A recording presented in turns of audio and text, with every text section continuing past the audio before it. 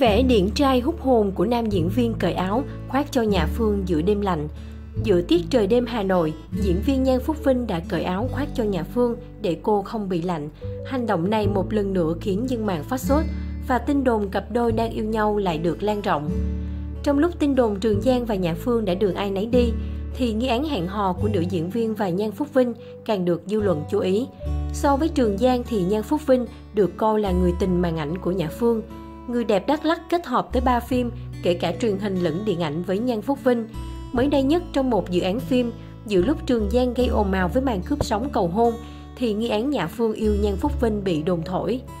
Trước thông tin này, Nhã Phương chia sẻ, không hiểu sao mọi người lại đồn chúng tôi là một cặp, hai đứa quen nhau và thân thiết lâu lắm rồi, cũng phải 6-7 năm nay, từ khi tôi còn chưa đóng tuổi thanh xuân. Nếu yêu nhau, chúng tôi đã yêu nhau từ hồi đó, giờ mới hẹn hò có phải muộn quá không? Sau đó, hình ảnh Nhan Phúc Vinh và Nhã Phương một lần nữa xuất hiện trên mạng xã hội. Phía quản lý của Nhã Phương đã vội vàng giải thích, không hề có chuyện Nhã Phương đang hẹn hò hay tìm hiểu Nhan Phúc Vinh. Cuối năm 2017, cả hai vừa quay chung một bộ phim truyền hình. Có lẽ do phim sắp lên sóng nên mới xuất hiện nhiều hình ảnh chung của nam nữ chính khiến nhiều người hiểu lầm.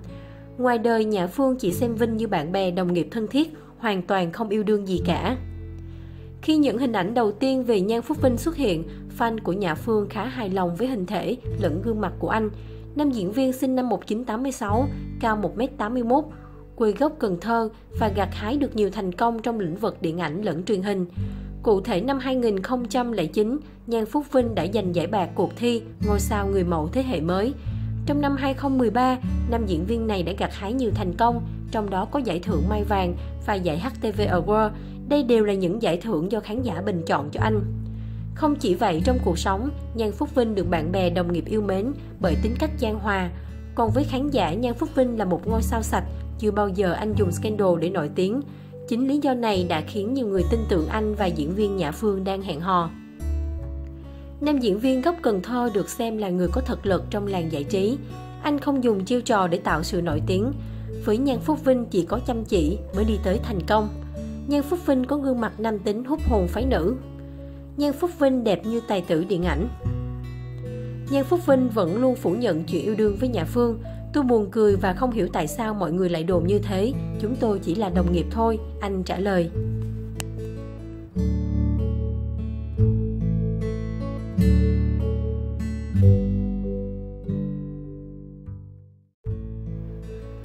Những khoảnh khắc lan tỏa hạnh phúc của gia đình Trấn Thành và Harry Won. Nếu bạn là fan cứng yêu thích của cả hai, thì nhất định không thể bỏ qua loạt hình ảnh ngọt ngào này. Trấn Thành Harry Won được mệnh danh là cặp đôi vàng của showbiz Việt, không chỉ bởi nhan sắc tài năng mà còn vì tình yêu đẹp mà cả hai dành cho nhau. Dù đứng trước búa rìu dư luận hay điều tiếng không hay đến thế nào, chưa bao giờ họ buông tay hoặc để đối phương phải trải qua một mình. Bên cạnh đó, sự hậu thuẫn về tinh thần của gia đình hai bên cũng là nguồn động lực rất lớn để cặp trai tài gái sắc này có thêm sức mạnh vượt qua dông bão. Không ít lần, những khoảnh khắc ngọt ngào được đăng tải đã khiến khán giả đổ rầm rầm vì ngưỡng mộ. Đều là những ngôi sao lớn sở hữu lượng fan đông đảo, nhưng khi công khai mối quan hệ, cả hai đã phải trải qua rất nhiều sóng gió. Tuy nhiên lúc nào Trấn Thành cũng đứng ra bảo vệ người yêu của mình. Nam danh hài từng bật khóc trên sóng truyền hình khi nhắc đến Harry, anh bộc bạch. Người phụ nữ đó vì yêu tôi mà phải chịu biết bao đòn roi của dư luận, tôi thấy rất oan ức cho một cô gái sống tốt như vậy. Trong khoảnh khắc tuyên thệ và trao nhận cưới thiên liêng, khi được Harry hỏi có thể nuôi cô suốt đời hay không, nam MC điển trai đã quả quyết trả lời được. Sau khi về chung một nhà, anh thậm chí còn làm tốt hơn lời hứa khi luôn chăm sóc vợ chu đáo và tỉ mỉ. Ân cần chỉnh váy giúp Harry, Trấn Thành thổ lộ anh muốn cô xuất hiện hoàn hảo nhất khi có thể. Tranh thủ vén tóc sửa sang một chút trước giờ lên sóng. Tặng quà cũng phải kiểu cách và thể hiện tâm tư một chút thì vợ yêu mới ấn tượng xin nhỉ.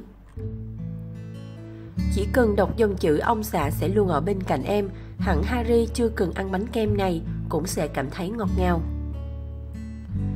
Giọng hát Anh cứ đi đi tỏ ra là một nàng dâu ngoan ngoãn và tình cảm. Khi tổ chức sinh nhật bất ngờ cho mẹ chồng, cô đã giấu cả nhà để tự tay làm tất cả mọi thứ, khiến ai nấy đều vô cùng xúc động. Được biết mẹ của Trấn Thành rất yêu quý Harry. Trong buổi ký tặng quyển sách đầu tay của con dâu, bà đã đích thân mang hoa đến tặng và chia sẻ rằng mình luôn tự hào về cô. Dù rất bận rộn với công việc, nhưng Trấn Thành vẫn tạm gác mọi thứ để đưa bà xã về Hàn Quốc thăm đại gia đình. Nam danh hài khoe khoảnh khắc được mẹ Harry tự tay chuẩn bị đồ ăn sáng. Bà vợ đi làm từ sớm, sáng tôi ngủ dậy. Cốc cốc con rể ăn cơm đi, chuẩn cơm mẹ vợ nấu. Tình cảm giữa nữ ca sĩ sinh năm 1985 và hai cô em chồng rất tốt. Cả ba đã thân thiết với nhau từ trước khi cô về làm dâu. Tuy tấm ảnh được đăng tải với mục đích dìm hàng, nhưng không thể phủ nhận khoảnh khắc này cũng rất đáng yêu. Nếu có một cuộc bình chọn những cặp vợ chồng chăm diện đồ đôi nhất showbiz, chắc chẳng ai qua mặt được Trấn Thành và Harry Won. Bỏ mặt tất cả đồn đoán và nghi ngờ, gia đình nhỏ này từng bước dùng tình yêu chân thật để chứng minh cho cả thế giới biết rằng họ thực sự thuộc về nhau.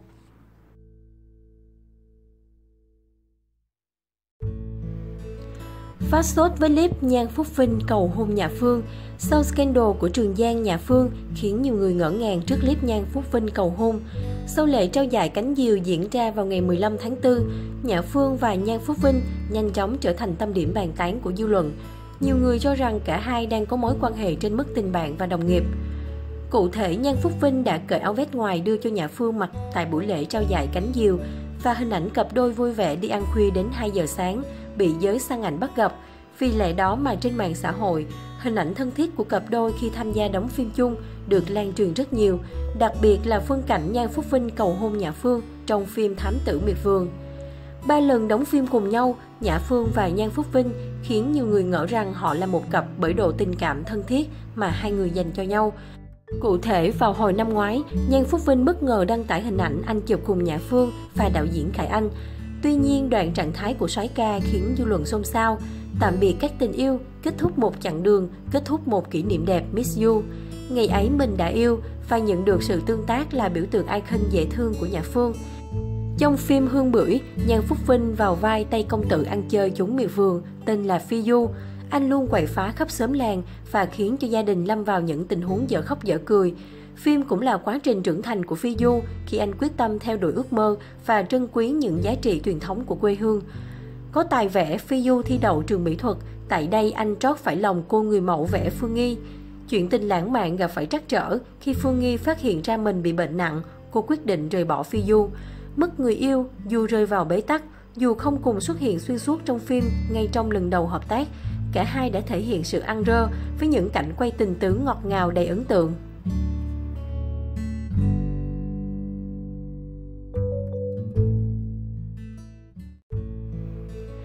Harigon trốn trứng thành cổ vũ trai lạ đua xe đạp. Mặc lịch trình dày đặc, Harigon vẫn có mặt tại thành phố Tuy Hòa, tỉnh Phú Yên để cổ vũ cho đoàn đua. Diện trang phục lấp lánh, Harigon hào hứng hòa cùng người dân địa phương xuống đường để cổ vũ cho các tay đua.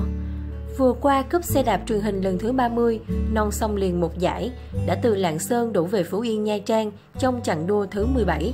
Tại đây, đại sứ cúp xe đạp Hoa hậu Hoàng Vũ 2017 Hanie đã cùng Minh Hằng góp mặt để trao giải cho những tay đua đạt thành tích cao nhất. Bên cạnh đó, cả hai còn xuống đường để tiếp nước cho các cua rơ giữa nắng gió khắc nghiệt tại miền Trung. Trong khi đó, Harry Won cũng bất chấp lịch trình dày đặc, trốn Trấn thành để một mình đến cổ vũ đoàn đua. Có mặt từ rất sớm là nữ ca sĩ diễn viên Harry Won. Mặc lịch trình dày đặc, Harry Won vẫn có mặt tại thành phố Tuy Hòa. Giữa trưa ôi ả, nữ ca sĩ vẫn nhiệt tình hò hét, tay bắt mặt mừng cùng các tay đua và khán giả để thổi thêm sức sống. tôn vinh tinh thần thể thao, đứng cùng tay đua đạt thành tích cao nhất Harry Won tâm sự, cả đời em chỉ mong Trấn Thành có được body như thế này thôi. Cô cũng hấm hỉnh chia sẻ, vì quá mê cúp xe đạp mà đã trốn chồng để đến tận Phú Yên cổ vũ đoàn đua. Thấy Trường Giang cạo đầu vì nhà Phương, Nam em ngàn đắng thốt lên một câu, nghe mà tội nghiệp. Hoa Khôi đồng bằng sông Cửu Long Nam em khẳng định, cô sẽ trở nên mạnh mẽ hơn và không muốn nói nhiều nữa, bởi nói nhiều thành ra nói dở. Mới đây, sau một tháng ở ẩn, vì bị ném đá khi tiết lộ chuyện tình yêu với Trường Giang, Nam em bất ngờ tái xuất trong một sự kiện ở Ninh Bình. Trong phần giao lưu với khán giả, Nam em cho biết một tháng qua cô đã trải qua cuộc sống vô cùng khó khăn, u uất. Người đẹp Tiền Giang tin rằng những ai là phụ nữ sẽ hiểu tâm trạng và tâm tình thầm kín của cô. Nam em khẳng định cô buộc mình phải trở nên mạnh mẽ bởi trong cuộc sống này yếu đuối để cho ai xem. Thời gian qua cô đã bị dư luận ném đá khi tiết lộ chuyện yêu đương chớp nhoáng với Trường Giang. Sau nhiều lần chia sẻ, lần này Nam em cho biết cô sẽ không nói nhiều nữa bởi nói nhiều sẽ thành nói dở. Trong thời gian tới, Nam em sẽ trở lại với hình ảnh của một ca sĩ. Cô quyết tâm đầu tư cho sự nghiệp ca hát và khẳng định sẽ theo đuổi tới cùng con đường này. Cách đây ít ngày, một người bạn của nam em từng chia sẻ hình ảnh cô ngồi trong phòng gym, tay cầm điện thoại, xem lại những hình ảnh tình tứ một thời của mình với Trường Giang. Trong mối quan hệ ba người, Nhã Phương, người được cho là chịu nhiều tổn thương nhất, chưa có bất cứ phát ngôn chính thức nào về chuyện này. Trong lễ trao giải thưởng cánh diều vàng, khi được hỏi, nữ diễn viên chỉ nói ngắn gọn rằng chuyện gì đã qua thì cho qua, và giải thưởng này là chiếc phao cứu sinh giúp cô có thêm động lực theo đuổi con đường nghệ thuật. Nam em thì livestream chia sẻ cảm xúc sau thời gian ở ẩn. Cô không nhắc đến Trường Giang, nhưng trong lời nói muốn gửi gắm đến công chúng đừng quan tâm đến cô quá nhiều.